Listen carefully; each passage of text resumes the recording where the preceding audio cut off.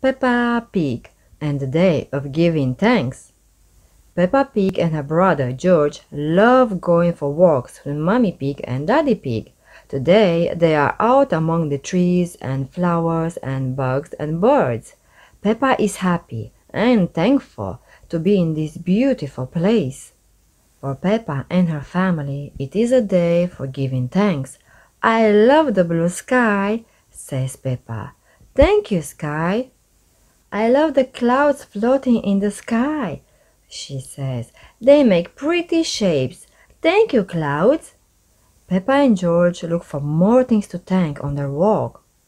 So does Daddy Pig. He looks up at a tall tree. Thank you, tree, he says. Peppa sees her favorite fruit. Thank you, apples, says Peppa. It's nice to see you, turtle. Peppa is thankful for the frogs, the fish, and especially the ducks. Look, George, says Mummy Pig. Butterflies. George flaps his arms just like the butterflies. George points. Oh, says Peppa. Then she says, Thank you, Spider. Ah, cries Daddy Pig. He runs. He does not say thank you to the spider. There are so many things to be thankful for. The flowers help the bees, says Mummy Pig. And the bees give us honey, says Peppa. I love honey.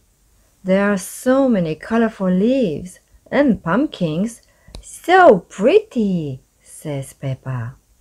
Peppa and George play in the leaves. Peter, patter, splat.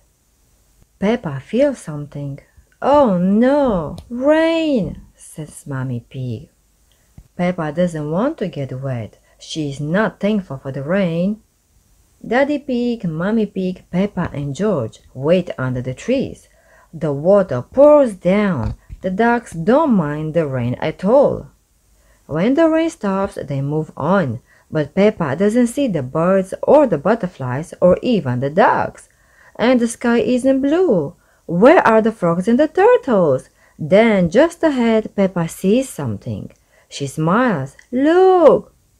The rain left a surprise for Peppa and George.